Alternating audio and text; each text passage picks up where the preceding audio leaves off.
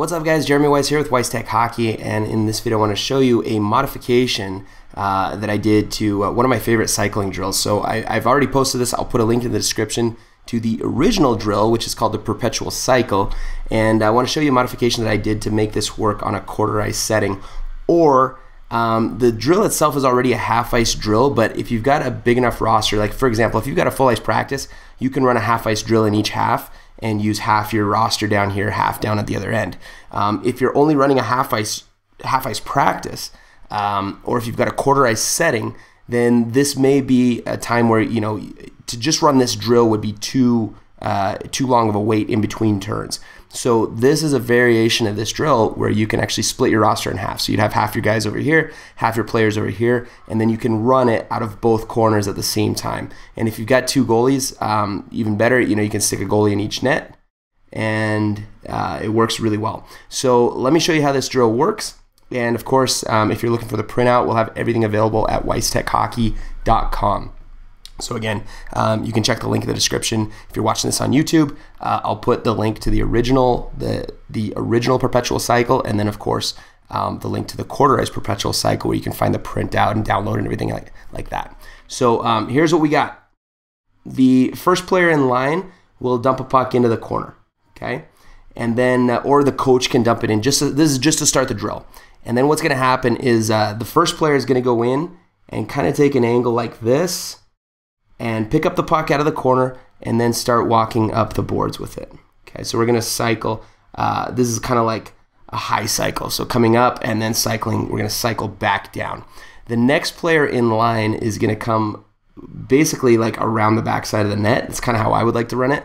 Um, if you know certain times in the drill timing gets off and if you need to cut the corner and come in front of the net that's fine too but generally it's good to leave with enough time that you can skate behind the net Okay, and this drill is more simple in actuality than it looks on paper. So don't stress out if this looks starts looking a little complicated.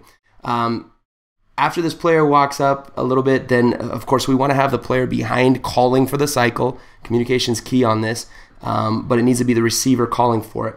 We'll cycle it back down. Okay, so I'm usually well, I'll just draw it. We'll bank it off the boards. Okay.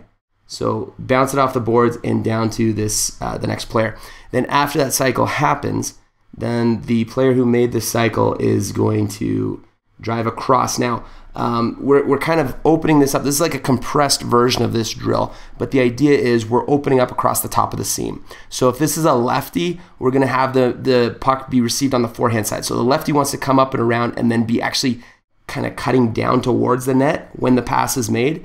Uh, if it's a righty, then same idea, but you want to open up and about here you want to pivot open into a mohawk. Uh, and then so so you can re be receiving that puck on your forehand as it comes.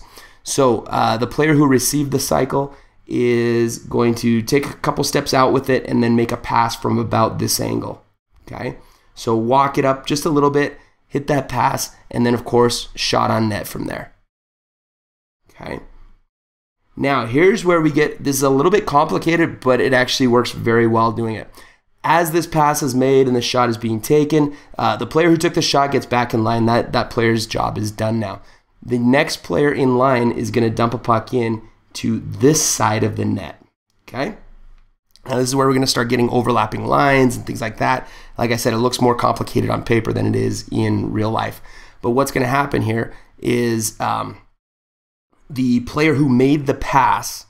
In fact, maybe I'll make this in a blue so that maybe it might be a little bit easier to see. So remember we said the pass comes from about here. So after that pass is made, this player is going to loop open and then circle back down behind the net, pick up the new dump in, okay, and then make a, a cycle, like a low cycle this time. So this is actually kind of a neat variation because um, in the the full version of this drill, like the original version, perpetual cycle, um, it's all just high cycles. But now we're actually alternating back and forth between low cycle, high cycle. So uh, he or she is going to swing back down, pick up the new dump in, and then cycle back off the boards like this.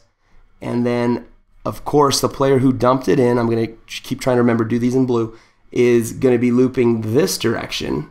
Okay pick up the puck, and then here's what's going to happen. This is going to be this actually works really nicely. Uh, this player is going to kind of time it out and then be cutting across the front like this, as this player picks up the puck and swings behind the net. like this. So pick up the cycle, drive behind the net like this, and then if you time it right, just as this player pops to the other side of the net, this player is going to be driving towards the net, and uh, you can pop out that that little uh, centering pass, that little front pass, net front pass, boom, right there, and then it's a one timer right there, and uh, works really nice. So let me let me get a shot icon here, boom, right, and then of course as this is happening, uh, the next player in line is, and I'll do this one more time in green this time, so maybe we can still see things. Uh, the next player in line is dumping one in to this side. Okay, so after this player picks up the cycle, makes the pass, then he or she is going to turn back around. It's again, it's another little loop. So you're going to loop open like this, and then come back around, pick up the cycle from the corner, walk up the boards with it just a little bit, and then cycle back down to that next player who is coming, uh, swinging in behind the net to pick up that cycle. And it just keeps going back and forth, back and forth, back and forth. So dump it in on on uh, what would, I guess we would call the right side of the net, and then dump it in on the left side of the net, then dump it in on the right side, left side, right side, left side. And the player who made the centering pass or who received the cycle always loops back around to pick up the next cycle and then loops back around to pick up the next cycle. Um, players rotating in and out. If you do it right, and if your players are competent enough, um, which, you know, about Pee Wees is probably a decent level. You know, if you've got a really talented and smart group of, of uh, U10s, you might be able to make this work with them. Uh, but it is there is quite a bit to think about. Um, but a decent group of peewees should be able to manage this drill, and it flows really nicely. You keep everybody moving quite well. A lot of shots, a lot of different, you know, game-like situations, game-like angles. I will point out one small detail. Um, whenever we go like two nets in one end in one half, um, most of the time, depending on the drill, but most of the time, I like to have them centered up with the dots.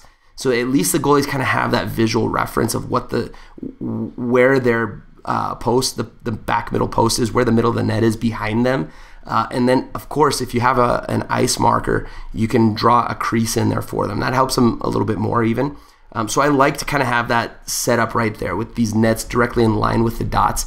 Then at least, I mean, it's not ideal, but half ice or quarter ice settings is never ideal. Our ideal would be full ice always, but we make the most with what we can with what we've got, right? We, we do the best we can with what we've got. So, um, you know, if you can set it up where the goalie has some sort of visual references uh, and a crease, then that helps a lot, you know. And, and the best way of doing a crease with a marker, uh, if you really want to be exact about it, is get um, get some rope, like you know, some twine or some paracord or something, uh, tie it to your marker, and then stretch it out. So put it on like just behind the uh, the middle, um, just inside the front crossbar, but right in the middle. Um, hook it on with like a carabiner or tie it on there, and then stretch it out to the exact length of the actual crease, like how far that is and then, of course, um, mark that. And then anytime you hook it into your net with that carabiner, then you just stretch out the rope to the proper distance where it was, where, where you first measured it. And then it's like uh, it's like using a, like a compass, you know, in math class. So you just hold it taut and then draw the marker around, and you can make like a very clean crease um, that's the same size as the regular crease that they would put in the net. So Anyways, that's that uh, little kind of tip for uh, for drawing your own creases, but uh, it's the way I've been doing it. It works really well. Gives the goalies a lifelike crease, even if you're moving the nets around on them, which you know I don't like to do it, but sometimes you have to and uh, it is what it is. So that's the quarter ice perpetual cycle. Hopefully that you know maybe you can use that in your practices or or save it in your back pocket for any time you get in a weird situation where you've got to do a, a quarter ice type drill, um, or if you've got a half ice situation where you need to split up your team half and half so that there's not as much wait time in line. Um, but it works really well. Uh, hopefully that helps and uh, keep checking back. WeissTechHockey.com. We've got tons of drills, skills, other things that'll help you with your coaching. Um, and we try to post pretty regularly. So um, keep checking back, and we'll be back again soon with more uh, with more videos like this.